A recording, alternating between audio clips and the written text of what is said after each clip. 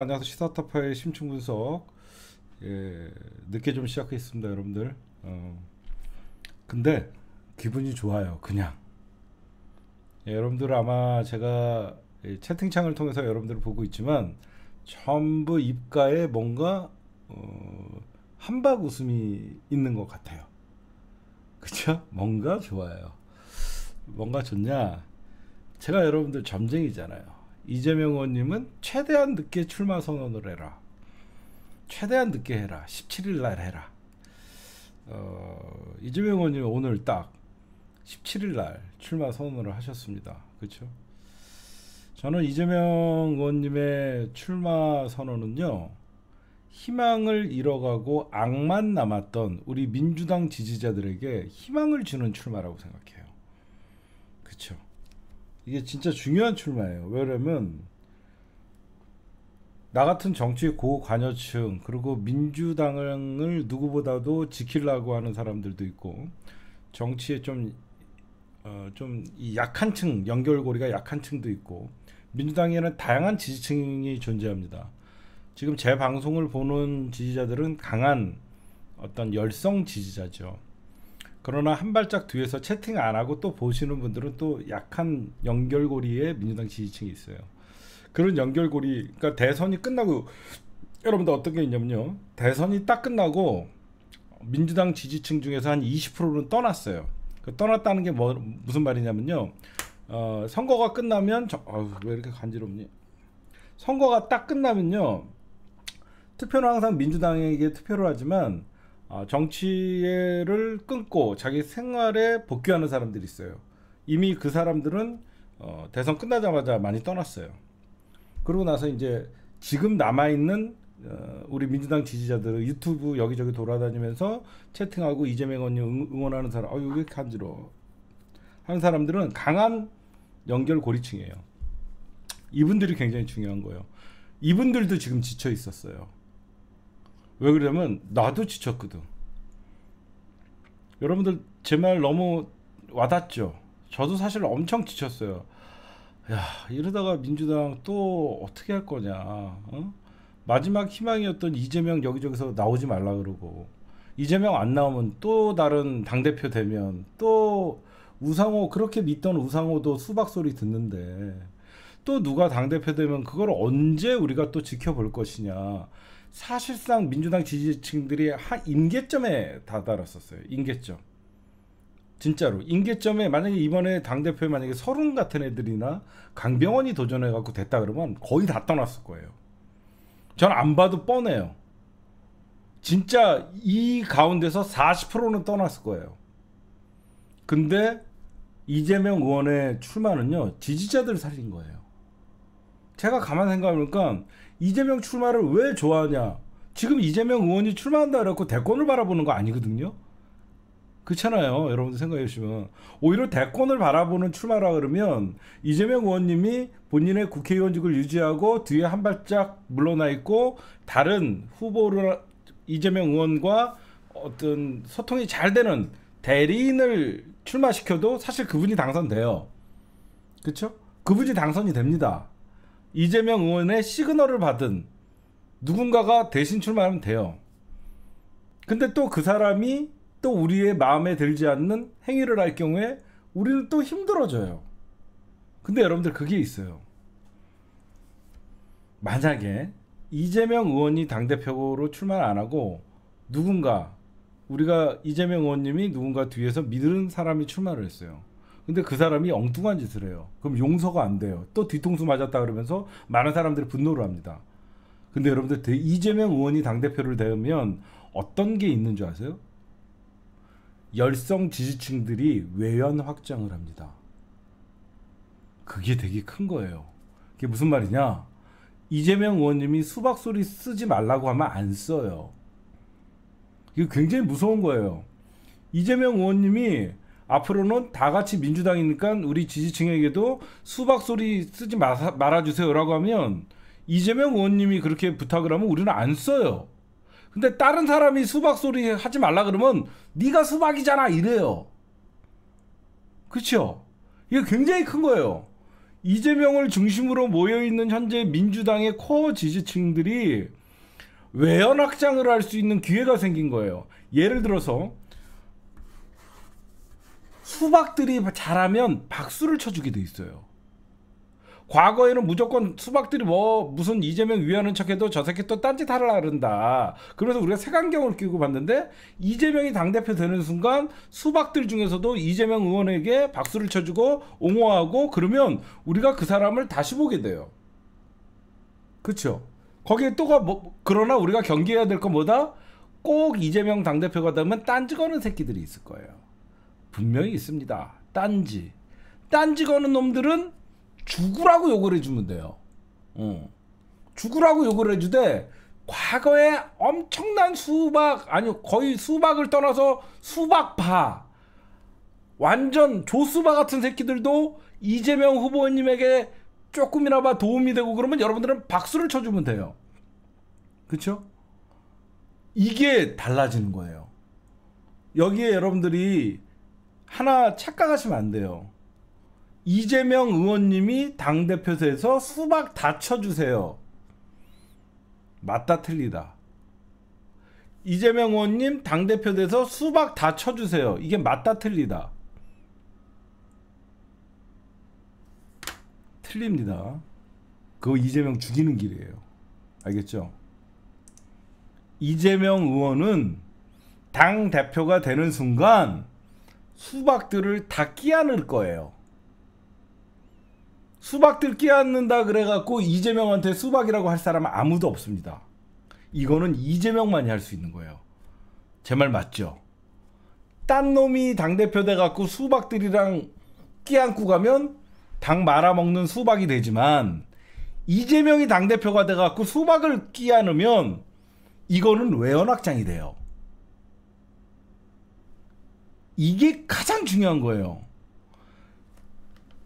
여러분들이 그렇게 좋아 그래도 인정을 했던 우상호가 수박들이랑 짬짬이 하면 우상호도 수박이었네가 되지만 이재명 의원님이 수박들과 회동을 하고 잘 지내면 이재명이 민주당을 통합했나가 돼요. 그쵸? 이재명이 민주당을 통합했다가 돼요. 여러분들 이게 굉장히 중요한 의미입니다. 그쵸? 여러분들이 이재명 의원님이 강병원이나 서른이랑 회동한다 그랬고 둘이 식사하고 얘기 나눴다 그래갖고 여러분들이 이재명이 수박이라는 얘기는 절대 안 하거든요. 이재명이 당을 하나로 뭉친다고 얘기하거든요. 이거 누구만 할 수 있다? 이재명만 할 수 있는 거예요. 그건 누가 해도 안 되는 거예요. 이게 정말 중요한 일입니다. 그럼 여러분들 수박 정리는 해야 돼요. 그렇죠? 수박 정리 어떻게 해야 돼요? 여러분들에게 지금부터 중요한 말씀을 드리겠습니다. 오늘부터 당원 가입 운동을 마구마구 하셔야 돼요. 이재명이 당대표 되자마자 엄청난 당원들이 밀려왔다가 이재명에게 큰 힘을 실어주는 거예요. 지금부터 당원 가입은 모두가 이재명을 지키는 표예요. 6개월 권리당원이 중요한 게 아니에요. 지금부터 당원 가입 10만 명, 20만 명, 30만 명, 40만 명, 50만 명이 나오면 뭐가 되죠? 그게 바로 이재명 의원이 굳이 수박을 내치지 않아도 2024년 총선 때 수박은 지지자들이 치는 거예요. 어떻게 이재명 의원이 당대표 됐다 그래갖고 나와의 반대 있는 사람들을 내치는 거는 당을 쪼개는 일이에요. 아니죠. 이재명 의원은 나에게 가장 심한 비판을 했던 사람들을 끌고 가고 하나의 품으로 안, 안으려고 하는 이재명 당대표의 모습을 보여줄 겁니다. 안 봐도 뻔하죠. 여러분들이 할 수 있는 건 뭐죠? 이재명 당대표 되자마자 당원 가입이 폭증하고 여러분들이 지지자들이 한 명씩만이라도 더 당원 가입시키면 2년 후에 여러 그 지금 가입하신 분들은 이재명 당대표 시기에 가입하신 분들은 경선에서 모든 수박들을 날릴 수 있습니다. 수박 정리는 지지자가 하는 것이지 공천권으로 하는 게 아니에요. 이재명 의원님은 자연스럽게 당대표가 된 다음에 모든 권한을 당원에게 돌려줄 겁니다. 당원의 당원 단계를 바꿔서라도 중앙위의 컷오프 같은 거 없애고 당연히 권리당원들에게 많은 힘을 실어주는 당원 단계를 개정할 거예요. 그럼 여러분들이 할 수 있는 게 뭐예요? 경선에서 투표로 날리면 되는 거예요. 뭐하러 이재명 의원님한테 손에 피 묻히라고 하면서 어? 또 다른 반 이재명 세력들을 만들게 합니까? 당연히 우리가 해야죠, 그건. 그렇죠? 여러분들 뭐다 제 부탁은 당원 가입이 이재명을 살리는 길이다. 그게 왜 그러냐면 여러분들 이재명 의원님이 어려운 길을 선택했다라고 제가 오늘 방송에다가 얘기했습니다. 방송 제목에 그 왜 어려운 길이냐? 총선 지면 대선은 없습니다. 그렇죠? 이재명 의원님의 사실상 승부수예요. 총선에서 대승을 거둬야지 역시 이재명. 역시 이재명이라는 소리가 나오는 겁니다. 그렇게 하려면 어떻게 돼요? 경쟁력 있는 후보, 지지를 자들이 힘을 모을 수 있는 후보들이 민주당에서 공천을 받아야 됩니다. 이제 아마 이재명 당대표가 되시면 단수 공천이라는 건 없어질 거예요. 단수 공천은 없어질 겁니다. 그럼 뭐죠? 다들 경선을 붙을 거예요. 경선을. 경선을 붙을 거예요. 그 경선에서 권리당원들이 반드시 옥석을 가려서 민주당에 도움이 되는 후보, 경선에서 이길 수 있는 후보를 만들어야 됩니다. 이재명의 운명은 이제 총선에 달렸어요. 그 총선 전에 수많은 고비가 있겠죠. 검찰이 수사하고 여기저기서 엄청난 압박을 가하겠죠. 근데 제가 여러분들에게 말씀드리는 거는 이재명 의원님 한편으로는 저런 마음이 아팠어요. 왜 마음이 아팠냐? 이재명 의원의 어려운 길은요. 사실상 본인이 다음 대선을 염두에 두고 나온 게 아니에요. 그래서 저는 마음이 아팠어요. 이재명 의원님이 다음 대선을 염두에 두고 정치를 했다라고 하면 당대표 도전하지 않습니다.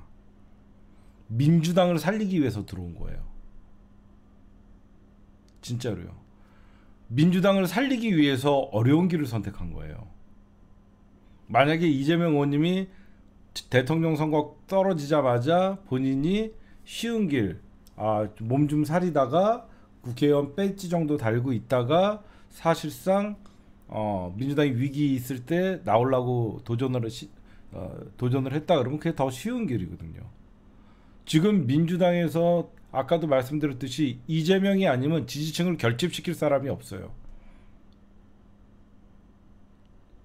사담으로 여러분들 어, 이재명 의원님이 많은 고민을 했어요. 많은 고민을 하고 고뇌에 살 빠진 거 보세요. 어, 누군가가 이런 얘기 들어더라고요. 이재명 의원님이 이런 말씀을 하셨어요. 민주당의 대선 후보들을 빨리 키워야 된다. 민주당의 대선 후보들이 빨리 키워야 되고 많이 나와야 된다.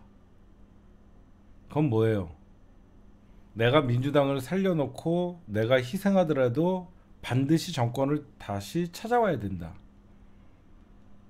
진짜 그런 말씀을 하셨어요. 그건 뭐다? 대선의 욕심을 미리 내려놨고 지금은 나의 대선이 중요한 게 아니라 민주당이 살아야지 본인이 다음 행보도 있는 겁니다. 이대로 나가다가는 민주당이 절대 대선을 다시 잡을 수 없어요. 응? 늘 위기 때 어려운 길을 선택하는 게 저는 진정한 민주진영의 지도자라고 생각해요. 그러니까 이재명은 본인의 영달을 위해서 나온 게 아니라 본인이 희생을 해서라도 어떻게 해서든지 민주당을 살리고 지지자들 더 이상 지치게 하지 않고 정말 이제는 으쌰으쌰하면서 우리가 윤석열 정부와 싸울 수 있는 화력 집중을 위해서라도 나오신 거예요. 여러분들 잘 보세요. 이재명 의원이 당대표가 되는 순간 우리는 민주당 내부의 문제에 대해서 한 발짝 건너뛸 수 있어요. 그렇죠? 우리가 민주당 내부에서 또 몇몇은 이재명을 비토하고 미재명을 깔 겁니다. 이제 그런 걱정이 없는 거예요. 이재명이 당대표 되는 순간 우리의 지지자들의 이 엄청난 화력은 윤석열 정부를 향하는 거예요. 그렇죠? 응? 여러분들 무슨 말씀인지 아시겠죠? 우리의 화력은 이제는 윤석열 정부에게 향하는 겁니다. 그러면 엄청난 거죠. 우리가 굳이 쓸데없이 여태까지 민주당 내부 문제 갖고 싸우고 그런 일이 없다는 거예요. 응? 그러니까 여러분들도 우리 이재명 의원님의 이 출마는 민주당 지지자들에게 희망을 주는 거고 이 어려운 길을 선택하는 것은 결국은 민주당을 살리기 위해서 나온 것이다. 그러니까 저는 민주당 나머지 의원들 있잖아요. 민주당 나머지 의원들은요. 저는 아마 많은 변화가 있을 거라고 생각해요. 많은 변화가 있을 거라고 생각하는 게 뭐가 있냐면 어, 그동안 이재명을 인정하지 않았던 그렇죠? 그동안 그동안 이재명을 인정하지 않았던 의원들도 이재명이 당 대표 되는 순간 이제는 아 대세가 이렇구나. 아마 인정하는 사람들도 많이 나올 것이고, 그렇죠? 인정하는 사람들도 많이 나올 것이고, 하여튼 제가 볼 때는 이제는 많은 변화들이 좀 있을 거예요. 그동안 어떻게 뭐 대권 후보 나가갖고 이재명 뭐 떨어져갖고 이제 뭐 이재명은 끝났다 이렇게 생각하는 사람들도 어 이제 이재명이 등판으로서 어 민주당이 이끌어가고 지지층이 결집하는 걸 보면서 어 이재명 주변으로 많이 모이는 현상들을 보일 것 같고 어 나머지 그래도 이재명을 어, 인정하지 못하는 사람들이 있을 겁니다. 그 사람들은 자세를 좀 바꿔야 되죠. 이재명을 인정하는 것부터 시작해야 된다. 저는 민주당의 새로운 변화는 제가 늘 얘기하죠. 민주당의 개혁의 시작은 이재명을 국민의 눈높이에서 평가하는 의원들이 많이 나와야 된다. 그게 민주당의 개혁이다. 여의도와 광장이 괴리감이 있다 보니까 결국 이재명을 인정하는 것에서부터 민주당의 개혁의 시작이다. 왜 당원과 지지자들이 어? 이재명을 그토록 원하는지 여의도만 모르고 있었다는 거예요. 제가 보면 그런 것들이 많이 포함돼서 이제는 이재명을 인정하는 것부터 시작될 것이고 그러다 보니까 이제 어, 많은 사람들은 저런 것들을 걱정을 해요. 이재명 의원이 당 대표 되자마자 여러 가지 난관에 부딪히고 검찰 수사가 들어오고 그럴 때 이제 저는 저것만 우리는 예의주시하면 돼요. 이재명이 공격당하는 게 아니라 이제는 민주당 당 대표를 공격하는 것은요. 그러니까 이재명은 일개 이제 뭐 그 대권 후보였던 사람이 아니죠. 제가 여러분들과 제가 유심히 봐야 될 것은 단순히 이재명을 검찰에서 소환하고 만약에 공격한다 그러면요. 이건 민주 진영의 민주당을 공격하는 거예요. 야당의 당 대표를 이때 똘똘 뭉쳐서 싸우는 모습을 보여줘야 돼요. 그렇지 않아요? 이제는 과거 개파, 반이재명, 뭐 친명 이게 중요한 게 아닙니다. 민주당 당 대표를 공격하는 거예요. 민주당 당 대표를 공격할 때는 민주당이 하나 된 힘으로 받아쳐 싸우는 모습을 보여줄 때 저들은 더 이상 공격을 멈추게 되는 거예요. 괜히 또 예전같이 사법 리스크니 뭐니 이런 얘기를 하면서 자꾸 민주당에서 이재명을 멀리하는 이런 사람들만 우리가 예의주시하고 보면 되는 겁니다. 그렇죠? 그래서 우리 가만히 있어도 괜히 기분이 좋고 오늘 제가 방송을 하면서도 빨리 방송을 켜야 되는데 제가 굉장히 늦게 왔어요. 늦게 들어오다 보니까 어, 뭔가 그래도 오늘 기분이 되게 좋았어요. 이재명 의원님이 어, 이재명은 합니다. 진짜 하는지 여러분들을 그 보게 됐고 결국은 이재명 의원님도 사실상 총선에 사활을 걸 수밖에 없고 오늘 출마 선언에서도 공천 학살은 없다. 그리고 민주당의 모든 것을 바꾸겠다. 그 민주당의 모든 것을 바꾸겠다라는 거에는 당원 당규 그리고 여의도 국회의원들의 그런 개파 정치가 아닌 당원이 주인인 정당을 만들겠다라는 저는 마, 어, 내용이 포함 어, 포함이 되어 있다고 생각합니다, 여러분들. 어, 가장 제가 기분 좋은 것은 이제 우리 민주정이 화력 좋은 우리 민주시정에서 어, 이제는 윤석열과 제대로 싸우고 그러면 윤석열 지지율 10%대로 어, 분명히 저는 떨어질 거라고 생각해요. 그러니까 여러분들도 어, 이제는 희망을 본 것이거든요. 이재명의 출마는 어, 지쳐 있는 지지자들에게 희망을 준 것이다. 그래서 우리는 그 희망과 함께 어, 이재명 의원 중심으로 이재명 당 대표 중심으로 하나하나 바꿔 나가다 보면 누가 봐도 민주당과 국민의힘은 많은 차이를 보이고 어, 역시 민주 없는 민주당이 아닌 민주가 돌아오는 민주당이 되는 그런 모습을 여러분들 어, 볼 수 있을 것 같습니다.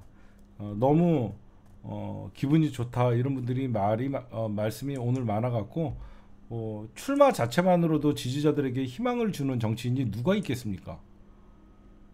저는 어, 앞으로 여러분들 우리 민주당이 이재명 의원이 들어오는 순간 뭐가 달라지냐면 어, 우리가 사실 선거를 한 세 번 연속 졌더니 선거를 한 세 번 연속 졌더니 굉장히 지지자들이 패배 의식에 젖어 있어요. 그 패배 의식에 젖어 있는 것을 이재명 의원님 한 방에 바꿔 주셨어요. 이기는 민주당으로 만들겠다. 그렇죠. 제발 이제는 이기는 민주당. 왜 지지자들이 지쳐가냐면요. 선거를 세 번, 네 번 지면요. 계속 심리적으로 불안하고 우리가 또 지는 거 아니야 이런 패배 의식에 젖어들어요. 근데 이재명 의원님이 이기는 민주당을 만들겠다라고 하는 이 자체만으로도 어, 너무너무 여러분들에게 든든한 왜 그러면 지지자들도 선거 같은 거에서 한번 이겨봐야지 또 어? 역시 민주당 그리고 이재명 그리고 우리 국민의힘 심판받았다 이런 좀 기쁨이 있는 거거든요. 어? 저는 하여튼 우리 이재명 의원의 시너지 효과는 다른 의원들에게도 좋은 효과가 어, 될 것이다. 그런 말씀 좀 드립니다.